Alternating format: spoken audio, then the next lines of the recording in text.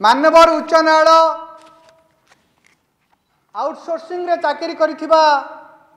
ବିଭିନ୍ନ ଆବେଦନକାରୀକୁ ଆବେଦନକାରୀଙ୍କ ଠାରୁ ଶୁଣିବା ପରେ ବିଭିନ୍ନ ଆବେଦନକୁ ବିଚାର କରିବା ପରେ ପ୍ରାୟ ପଚାଶରୁ ଅଧିକ ମାମଲାରେ ମାନ୍ୟବର ଉଚ୍ଚ ନ୍ୟାୟାଳୟ ନିର୍ଦ୍ଦେଶ ଦେଇଛନ୍ତି ଯେ ସେମାନଙ୍କୁ ସ୍ଥାୟୀ ଅର୍ଥାତ୍ ରେଗୁଲାରାଇଜ୍ କରିବା ପାଇଁ। ଜନମଙ୍ଗଳ ରାଷ୍ଟ୍ରରେ ରାଷ୍ଟ୍ରର ଦାୟିତ୍ୱ ନ୍ୟାୟପାଳିକାକୁ ଅତ୍ୟନ୍ତ ଗୁରୁତ୍ୱର ସହ ନେବା କଥା ଯଦି ତାହା ଜନସ୍ୱାର୍ଥ ସମ୍ବଳିତ ହୋଇଥାଏ କିନ୍ତୁ ରାଜ୍ୟ ସରକାର ନ୍ୟାୟପାଳିକାକୁ ସମ୍ମାନ ଦେବା ପରିବର୍ତ୍ତେ ଯେଉଁ ଦିନ ଘୋଷଣା କରିଛନ୍ତି ଚାକିରି ବୟସ ସୀମା ବଢ଼ାଇବା ପାଇଁ ସେଇଦିନ ଫାଇନାନ୍ସ ଡିପାର୍ଟମେଣ୍ଟ ଅଲ୍ ଦ ଡିପାର୍ଟମେଣ୍ଟକୁ ଚିଠି ଲେଖିଛନ୍ତି ମାନ୍ୟବର ଉଚ୍ଚ ନ୍ୟାୟାଳୟ ଯେଉଁ ନିର୍ଦ୍ଦେଶ ଦେଇଛନ୍ତି ରେଗୁଲାରାଇଜ୍ କରିବା ପାଇଁ ଚାକିରିର ସ୍ଥାୟିତ୍ୱ କରିବା ପାଇଁ ପକ୍କା କରିବା ପାଇଁ ଯେଉଁ ନିର୍ଦ୍ଦେଶ ଦେଇଛନ୍ତି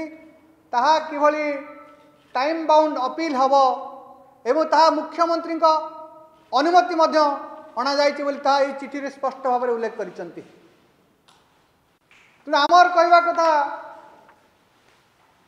ରାଜ୍ୟ ସରକାର ନିର୍ବାଚନୀ ଆଳରେ ବୟସ ସୀମା ବଢ଼ାଉଛନ୍ତି ଏବଂ ଭିତରେ ଭିତରେ କିଭଳି ଏ ରାଜ୍ୟର ଯୁବକ ସେଇ ଆଉଟସୋର୍ସିଂରେ କମ୍ପାନୀ ଅଧୀନରେ କାମ କରନ୍ତୁ ତା ପାଇଁ ଷଡ଼ଯନ୍ତ୍ର ଆରମ୍ଭ କରିଛନ୍ତି। ଆକୁ ଗୋଟାଏ ଭାଷାରେ କୁହାଯାଇପାରେ ଯେ ରାଜ୍ୟ ସରକାର ଏ ରାଜ୍ୟର ଯୁବକ ବିରୋଧୀ ଏବଂ କମ୍ପାନୀ ପ୍ରୀତି ଏତେ ଘାରିଛି ଯେ ନିଜ ଯୁବକଙ୍କ ସ୍ୱାର୍ଥକୁ ବଳି ଦେଇ କମ୍ପାନୀ କିଭଳି ଆଉଟସୋର୍ସିଂ କରିବ ଆଉଟସୋର୍ସିଂ ଅଧୀନରେ ରାଜ୍ୟରେ କେମିତି ସମସ୍ତ କର୍ମଚାରୀ ଚାକିରି କରିବେ ସେଥିପାଇଁ ଆଗକୁ ଆସିଛନ୍ତି। ତେଣୁ ବୟସ ସୀମା ବଢ଼ାଇବା ଗୋଟାଏ ଭାଷାରେ କୁହାଯିବ ରାଜ୍ୟ ସରକାର ଏ ରାଜ୍ୟର ଯୁବପିଢ଼ିଙ୍କୁ ମରିଚିକା ସଦୃଶ। ଆଉ ଗୋଟେ କଥା ମାନ୍ୟବର ଉଚ୍ଚ ନ୍ୟାୟାଳୟ ସିଧାସଳଖ ରାଜ୍ୟ ସରକାରଙ୍କୁ ପ୍ରଶ୍ନ କରିଥିଲେ ରାଜ୍ୟ ସରକାର ସ୍ପଷ୍ଟ ଉତ୍ତର ରଖନ୍ତୁ ଯେ ଆଉଟସୋର୍ସିଂରେ ଚାକିରି କ୍ଷେତ୍ରରେ ରାଜ୍ୟ ସରକାରଙ୍କର ଆଭିମୁଖ୍ୟ କ'ଣ ତାହା ମଧ୍ୟ ମାନ୍ୟବର ଉଚ୍ଚ ନ୍ୟାୟାଳୟଙ୍କ ନିକଟରେ ରାଜ୍ୟ ସରକାର ଦାଖଲ କରିଥିଲେ ଏବେ ସେ କଥାଟି ଯଦିଓ ସିଧାସଳଖ ସାମ୍ନାକୁ ଆସୁନି ରାଜ୍ୟ ସରକାର ତାଙ୍କ ଆଭିମୁଖ୍ୟ ଅପିଲ କରିବା ପାଇଁ ଯେଉଁ ଚିଠି ଲେଖିଛନ୍ତି ଆଡ଼ଭୋକେଟ୍ ଜେନେରାଲଙ୍କୁ ଫାଇନାନ୍ସ ଡିପାର୍ଟମେଣ୍ଟ ଯେଉଁ ଚିଠି ଲେଖିଛନ୍ତି ଆଡ଼ଭୋକେଟ୍ ଜେନେରାଲ ସମସ୍ତ ବିଭାଗକୁ ସେଥିରୁ ସ୍ପଷ୍ଟ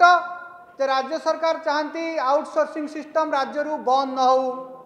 ଆଉଟସୋର୍ସିଂ ସିଷ୍ଟମ ମାଧ୍ୟମରେ ଏ ରାଜ୍ୟର ଯୁବକମାନଙ୍କୁ ଭଣ୍ଡିତ କରିବା ପାଇଁ ରାଜ୍ୟ ସରକାର ପୁଣି ଏକ ଉଦ୍ୟମ କରିଛନ୍ତି ପଞ୍ଚାୟତ ନିର୍ବାଚନ ପୂର୍ବରୁ ଏବଂ ପଞ୍ଚାୟତ ନିର୍ବାଚନକୁ ପାର ହେବା ପାଇଁ ଏକ ରାଜନୈତିକ ଚାଲ ଏ ବୟସ ବୃଦ୍ଧି।